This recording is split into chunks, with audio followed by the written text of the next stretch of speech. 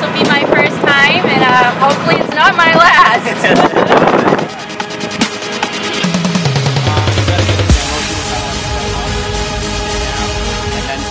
I'm excited.